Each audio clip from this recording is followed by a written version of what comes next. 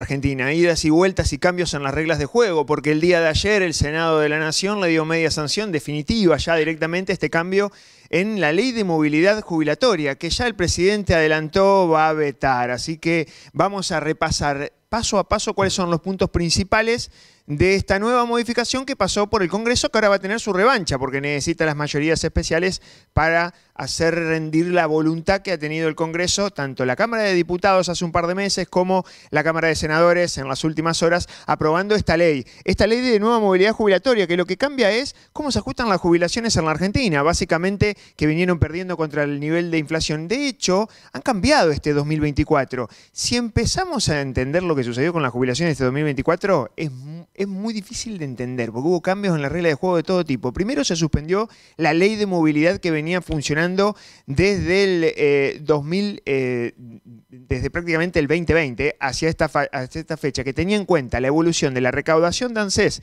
en términos tributarios y también la evolución de los salarios. Como los salarios vinieron perdiendo por goleada contra eh, la inflación, las jubilaciones se fueron atrasando y perdiendo en términos de poder de compra. Para eso, el, gobierno de Javier Milei sacó un DNU que suspendió esa ley de movilidad y empezó a ajustarlas por inflación. Pero ojo, porque se comió un par de meses. Entre esos meses que se comió fue el 25,5 de inflación del mes de diciembre y sobre todo en el mes de enero, que la inflación llegó al 20,6% y en ese mes un empalme y se ofreció un 12,5% para reconocer. Desde ahí en adelante sí se fue aplicando sucesivamente el incremento por inflación. Bueno, ¿qué aprobó el Senado el día de ayer y salió por el Congreso? Bueno, un plus del 8,1%, esa diferencia.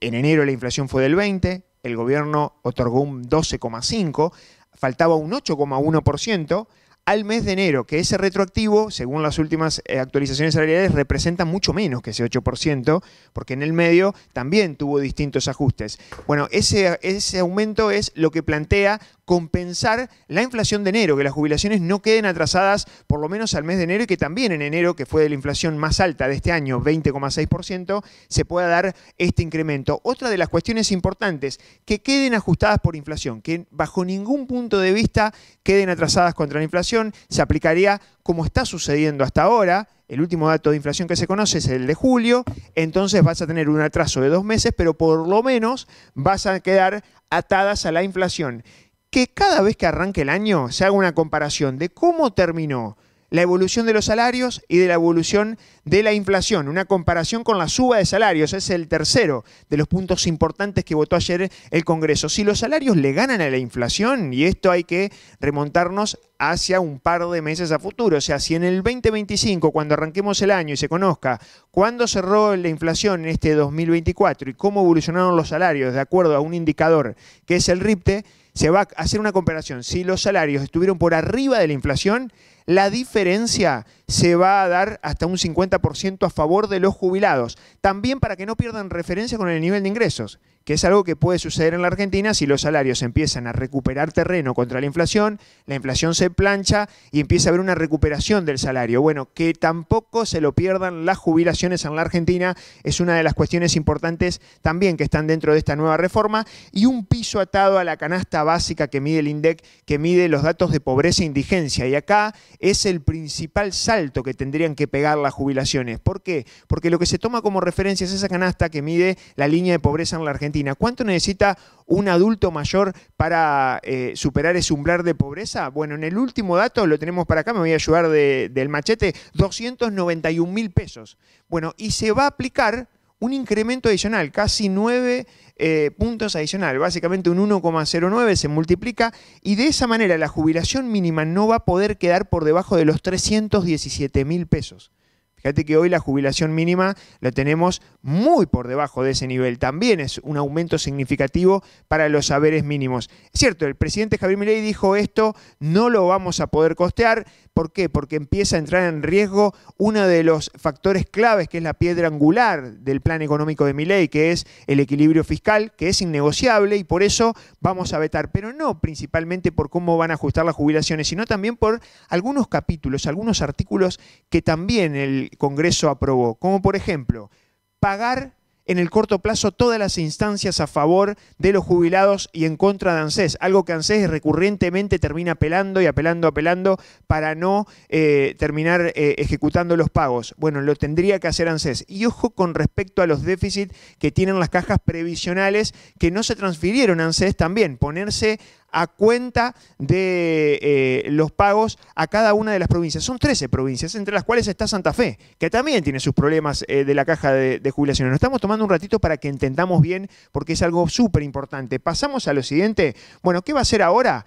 ANSES, primero, ¿va a otorgar un bono adicional o no va a otorgar un bono adicional? Por ahora no lo confirmaron, dijo Javier Milei en las últimas horas que está analizando la posibilidad de otorgar un nuevo bono, pero las jubilaciones van a aumentar un 4%, ya es oficial, independientemente de lo que sucedió el día de ayer en el Congreso con esta nueva ley de movilidad jubilatoria que seguramente se va a vetar. Bueno, la jubilación mínima va a pasar a partir del mes que viene en 234.540 pesos si existiera la modificación que aprobó el Congreso, esa mínima tendría que subir para aquella persona que cobre un solo haber hasta 317 mil pesos. Por eso es muy importante el tema de los cambios en las reglas de juego. La pensión universal para adulto mayor quedó en 187 mil 632 pesos, como estás viendo en pantalla, pero si nos estás escuchando te lo repasamos. Las pensiones no contributivas, 164 mil 178 pesos. Y el haber máximo, la jubilación máxima que va a pagar ANSES con este aumento del 4%, que es el mismo dato de inflación de julio, 1.578.000 234 pesos.